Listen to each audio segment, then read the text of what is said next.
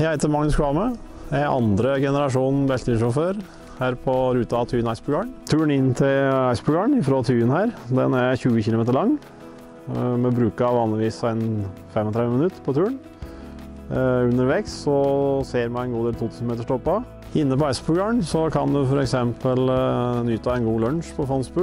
Du kan eh, sitte i solveggen, kanskje med en liten halvliter. Du kan eh, ha med deg ski innover, gå en liten skitur. Du kan få leie Trugo hvis du heller vil gå på det. Hvis du har eh, randoutstyr, så kan du gjerne bli med inn eh, tidlig.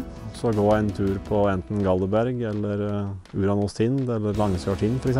Så komme opp hit, så kan du få en veldig fin dag eh, inn i fjellet.